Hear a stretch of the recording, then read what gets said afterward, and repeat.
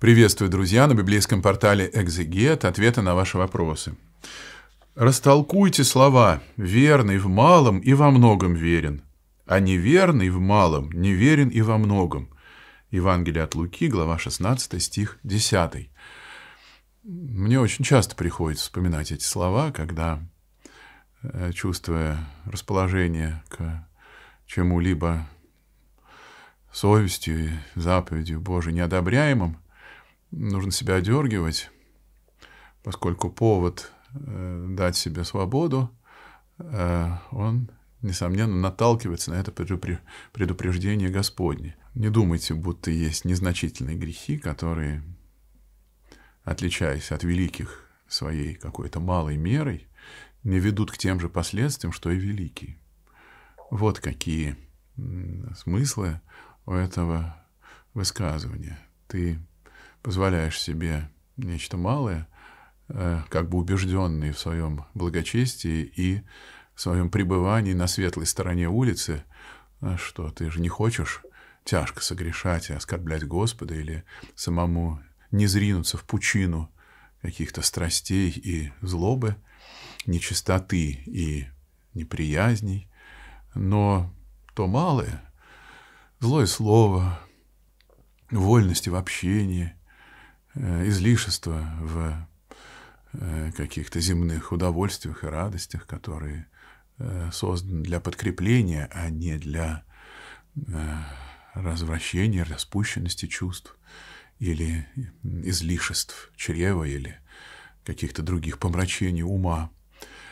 Все это, предлагаемое нам в малых дозах, имеет, предупреждает Господь, способность постепенно порабощать всего человека. Преподобный Исаак Сирин э, сообщает нам, что существуют мало знакомые многим и мало заметные для других знаки отречения от Христа. Он их называет тайными знаками отречения от Него.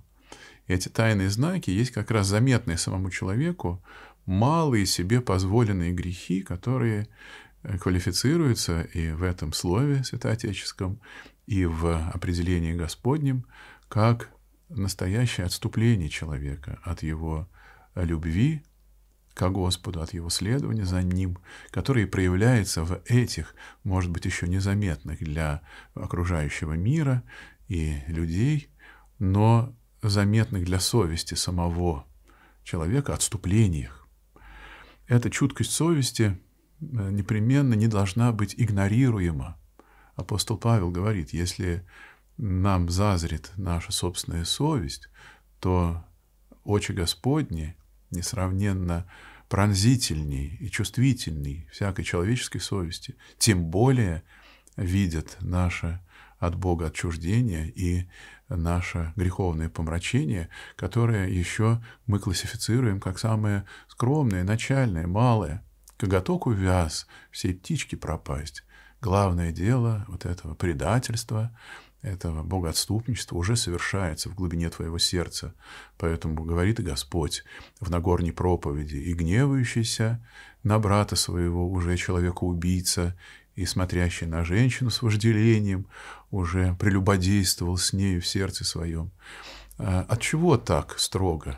От того ли, что Господь а, не желает нам блага или лишает нас и малого удовольствия, конечно же, не потому, а для того, чтобы облегчить нашу победу над грехом и не ожидать, пока прилоги страстей, э, уже помрачающие наше сердце, перейдут в непобедимые и несокрушимые страсти и навыки.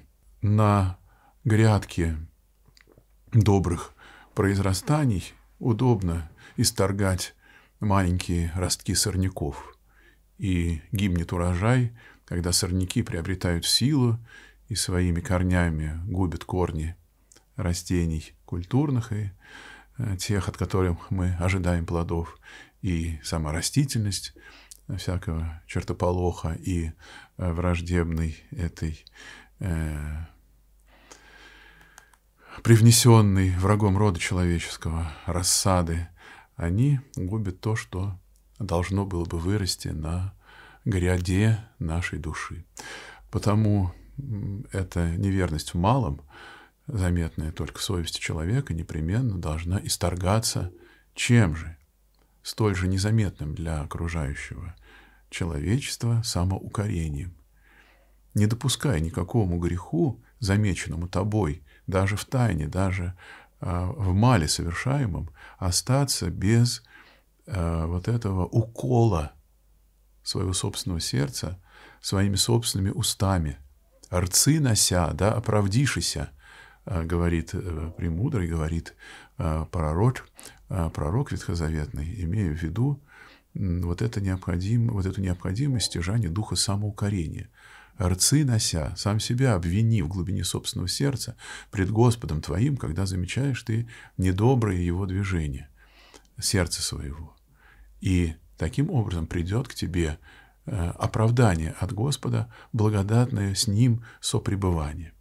И напротив, тот, кто уберегает от самоукорения, уберегает от раскаяния эти греховные ростки в своем сердце, что и называет Христос малым, не, малой неверностью, тот, э, несомненно, содействует и полной неверности, который не замедлит себя ждать в случае нашего нерадения о исторжении самоукорением и покаянием и исправлением жизни тех малых грехов, которые мы за собой замечаем.